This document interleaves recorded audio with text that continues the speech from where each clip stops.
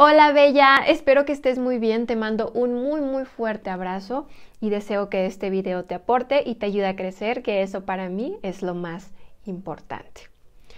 Mucho de esto que tiene que ver con poder lidiar con nuestras emociones es cómo nosotros la hayamos vivido cuando éramos pequeñas. La relación, por ejemplo, que tenían nuestros padres, nosotros simplemente viendo eso aprendíamos, por ejemplo, que era el amor. También por separado, mamá y papá, cuál era la relación que tenían, por ejemplo, contigo. Cómo ellos te demostraban su afecto y también cómo ellos eh, respondían al afecto que tú les dabas, etcétera, etcétera. Entonces es bien importante entender que la personalidad que tenemos ahora en gran medida se desarrolló durante nuestra niñez. Así que dicho lo anterior, para poder trabajar y tener una muy buena relación con nuestras emociones, tiene que ver con la autoobservación. Cómo yo trascendía todo eso que para mí me causaba alegría, tristeza, enojo, etcétera, etcétera. Es el hecho de darme cuenta de cómo yo las vivía cuando era pequeña y entonces de qué manera me están afectando, que no me están ayudando en mi momento presente. Así que como te diste cuenta en el título de video, Vamos a empezar a observar cómo poder lidiar con nuestras emociones. Vamos a intentar ir dentro, entenderlas, trascenderlas, que es lo más importante, con mucho cariño, con mucha comprensión, y no sentir que estas mismas nos dominan. Quiero que para poder entender este tema vamos a irnos un poquito más a profundidad, vamos a cuestionar muchas creencias que hasta ahora hemos estado alimentando y para que esto tú lo puedas poner en práctica, te voy a dar consejos muy sencillos que tengo especialmente para ti. Así que, ¿qué te parece si empezamos con este video? Muy bien, Bella. Entonces, para poder explicarte esto de una manera muy sencilla, te voy a regalar tres puntos clave. Cuando tú los entiendas y los pongas en práctica, te va a ser muy sencillo poder trabajar esto. Te vas a dar cuenta. Entonces, el punto número uno, es que todos los sentimientos fluctúan a través de dos fuerzas muy importantes, el amor y el miedo. Esto quiere decir que cuando yo me siento enojada, frustrada, molesta con alguien, que no soporta la situación en la que estoy viviendo en estos momentos, que estoy muy triste, entonces me encuentro en el miedo. Cuando yo estoy feliz, me siento muy optimista, sé que tengo éxito en mi vida, en mi trabajo, en mi pareja, etcétera, etcétera. Me siento muy empática, me siento muy tranquila, entonces estoy en el amor. Cuando yo identifique esto, cualquier sentimiento de los que yo te acabo de decir, entonces le puedo dar un nombre a eso que estoy sintiendo. Ok, en estos momentos estoy enojada. ¿En dónde estoy? estoy en el miedo. Ya lo entendí. Muy bien, en estos momentos estoy feliz. ¿En dónde estoy? Estoy en el amor. A través de esto me va a ser muy sencillo, porque ya le estoy dando un nombre a ese sentimiento y entonces podemos pasar al punto número dos. Y es que cualquier sentimiento que yo esté viviendo está hecho para ser experimentado. ¿Por qué te comento esto? porque ya sabemos, y seguro ya lo has vivido, que entre más yo decido alejarme de cualquier sentimiento, más fuerte se vuelve en mí. Imagínate que vas caminando por la calle y de tu lado izquierdo de la nada, el muro que está al lado tuyo empieza a caerse.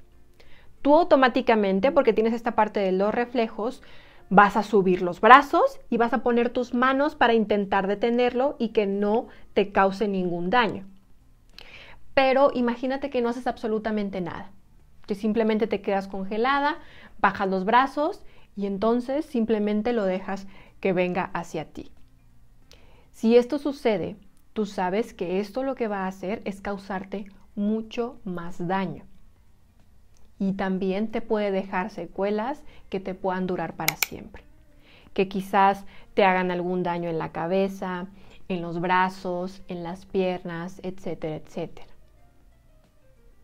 Esto que yo te acabo de compartir, imagínate que lo vamos a poner en la parte de tus sentimientos. Cuando llegue algún sentimiento hacia ti, porque lo vas a empezar a sentir en tu cuerpo, tú tienes que ser esa persona que lo sostenga. Quizás puede que llegue a ser muy pesado, pero con entendimiento y práctica te será mucho más fácil poder trascenderlo. Por lo tanto, entendiendo que todos los sentimientos que lleguen a mí tengo que permitir que se expresen, este último punto es clave para poder salir de cualquier situación que se nos presente. Ningún sentimiento es más importante o mejor que otro. Ningún sentimiento, repito, es más importante o mejor que otro.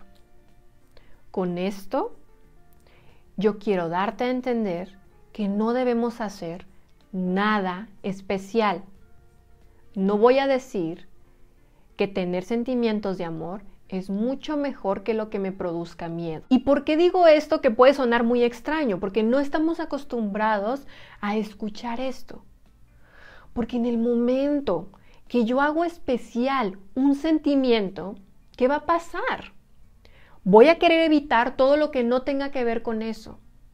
Y entonces, en vez de estar en esta montaña rusa de emociones, y en el que simplemente estoy evitando el dolor y quiero alejarme una y otra vez de eso, lo enfrento, porque es la realidad que se me está presentando.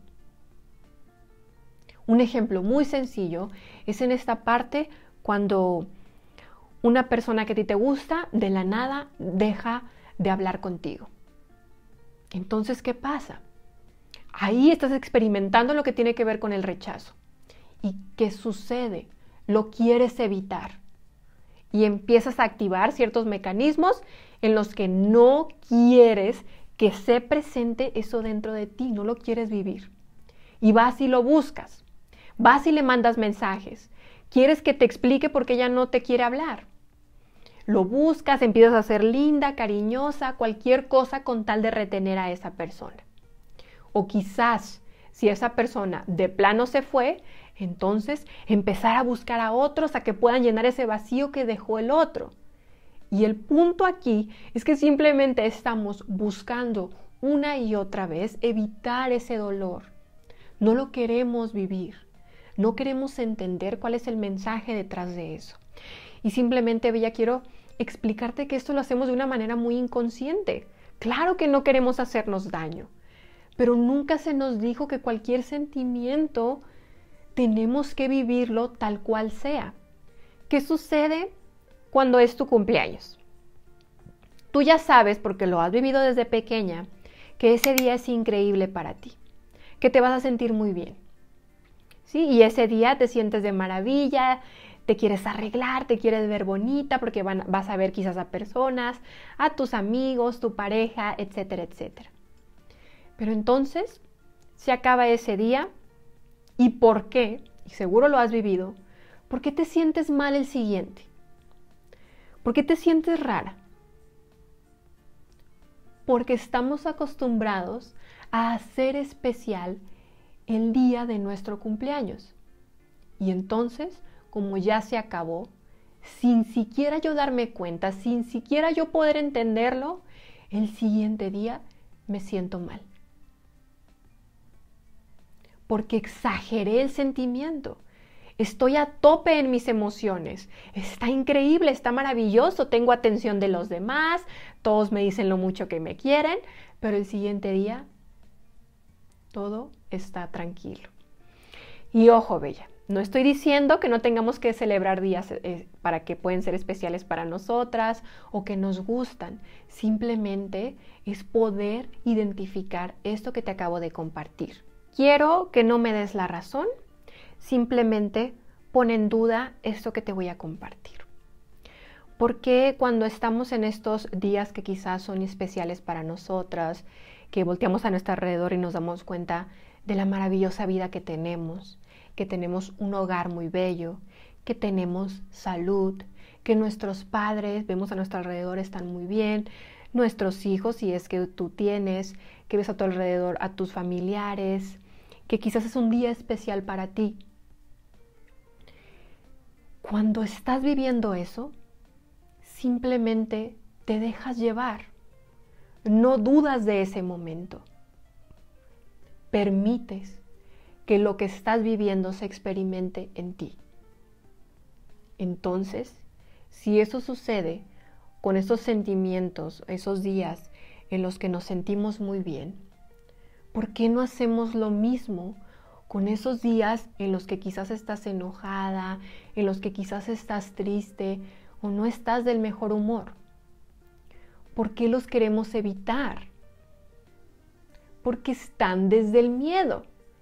Y porque a mí desde pequeña alguien me dijo que eso está mal y que no debo permitirme que los demás me vean a lo mejor llorando o enojada. Ya no más, Bella. Yo lo único que quiero dejarte aquí es que todos los sentimientos son importantes, son necesarios y ellos vienen a traerte un mensaje. Permite que esos sentimientos estén en ti. Ok, enojo, aquí estoy. ¿Qué me quieres decir? Ya, entra en mí. Si me voy a enojar, me enojo. ok, tristeza, ¿cuál es tu mensaje? Y simplemente te escuchas. Escúchate ahí. Y en el momento que tú lo hagas, vas a poder entender qué es lo que tiene para ti, Bella. Y también es importante que cuando tú estés enojada cuando tú estés quizás frustrada, estos, estos sentimientos que tienen que ver con el miedo, no significa que nos vamos a ir a desquitar con los demás, ¿sí? Porque eso no es trascender las emociones. Vamos a experimentarlas en nosotros y desde nosotros mismos vamos a trascenderlas. Muy bien. Y ya qué te pareció este video. No olvides dejármelo en los comentarios. Si tú lo pones en práctica, a mí me fascina leerte. Te mando Muchos, muchos besos como siempre. No olvides suscribirte a mi canal si todavía no lo has hecho y picarle a la campanita para que siempre te lleguen notificaciones de mis videos. Gracias por siempre estar aquí y entonces ya sabes que tú y yo nos vemos la siguiente semana.